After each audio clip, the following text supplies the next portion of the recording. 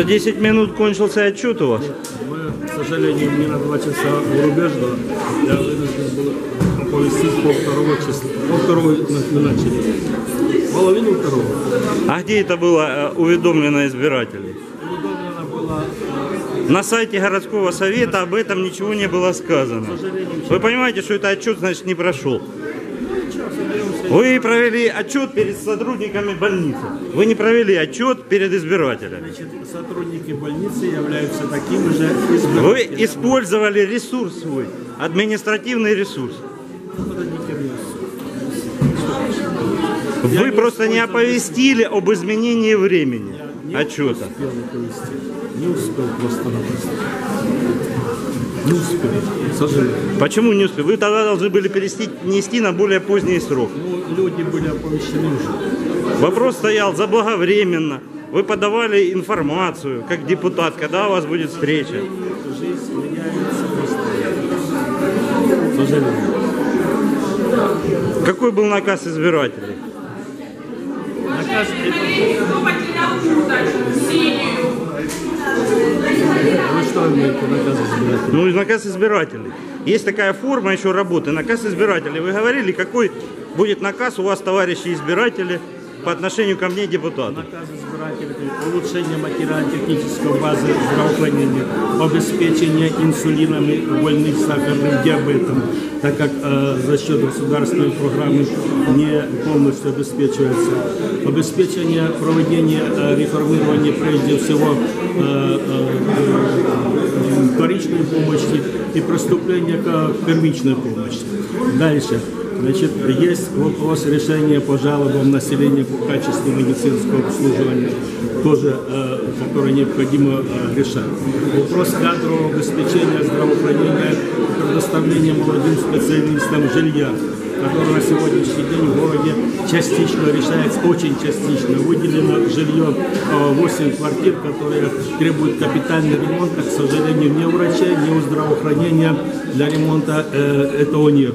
Поэтому городским советом э, поставлен вопрос, что я ставлю вопрос, или решать вопрос передачи на здравоохранение этих, на баланс здравоохранения этих квартир с последующим э, ремонтом, или же решать вопрос э, жилья. Оно жилье есть, но оно требует капитального ремонта. Поэтому это уже вопрос и поднимался перед городским городом, перед городским советом, но, к сожалению, юридически пока он в подвешенном состоянии.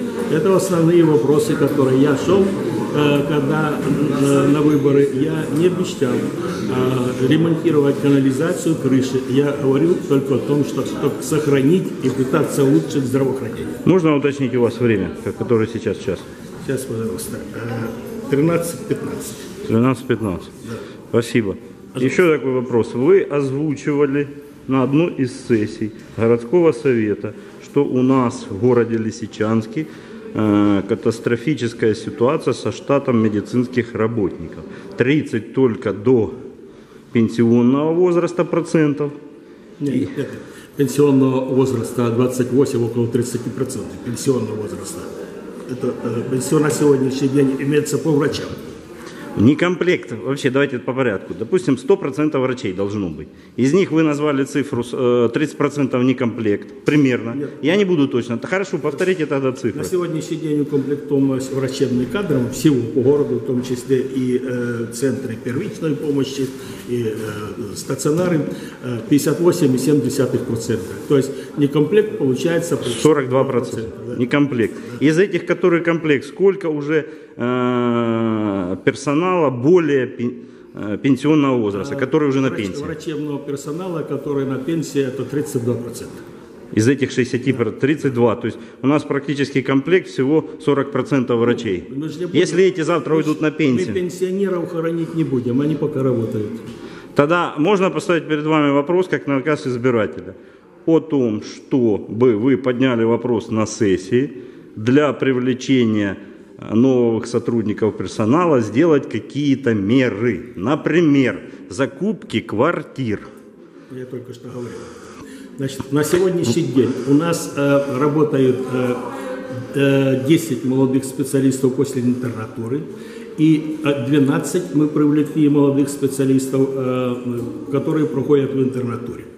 Городской совет на сегодняшний день выделил вторичное жилье, это 8 квартир, поэтому главная задача на следующий год 8 квартир, которые будут предоставлены только молодым специалистам, врачам для э, вопрос их ремонта. Потому что у нас только вторичное жилье, значит, а первичного жилья у нас нет. 8 квартир выделены, они числятся у нас как э, служебное жилье, требуют капитального ремонта. Это из коммунального фонда, я так Да, понимаю, а или, фонда. или отчуждение, Да, э, отчуждение, это а за счет выморочное жилье. выморочное жилье. То есть не закупалось. Нет, это э, как служебное и требует капитальный ремонт в среднем э, по тем квартирам, которые есть, около 100 тысяч каждая квартира. Спасибо. Просьба озвучить это на сессии. Давайте пусть программу принимают цивилизованную. Э, На 5-10, на 5 лет как завлечь сюда врачей. Сто процентов с вами согласен. Значит, э, на э, ориентировочно-февральскую мартовскую сессию мы готовим программу о привлечении именно кадрового состояния в здравоохранении. Программу, в котором э, ставится работу, хотя ставился неоднократно перед городским головой и э, на, э, перед исполкомом решить вопрос, каким образом эти квартиры можно отремонтировать. Ведь отремонтировать, наверное, дешевле, чем покупать новую. Дешевле. Ставится вопрос. Есть юридически не, неузгодження, як на Україні, или передать на баланс здравоохранения и потом выделить на финансированный ремонт, или же выделить на финансирование деньги э, ЖЭКам, э, отремонтировать и э, э, дальше поселить людей. Потому что на сегодняшний день, ну, допустим, врач-кардиолог у нас есть, значит, э, с мать-одиночка, переселенка. Она получила квартиру, но мы обсчитали, своими работниками обсчитали, значит, это примерно 100 тысяч ремонт. Естественно, она не может отремонтировать. Поэтому это первоочередная задача для того, чтобы решить кадровый вопрос. И вторая задача. То, что э, система финансирования, молодой специалист получает э, почти столько же, как и санитарка после э, э, 8 лет. Поэтому на государственном уровне это не решается. Значит, перед городским советом ставится вопрос, и сейчас, э, э, слава богу, мы получили государственную субвенцию, из которой часть денег по- подойдет на стимулирование молодых специалистов, для того, хоть что-то повысить разницу между санитаркой и молодым врачом. Спасибо.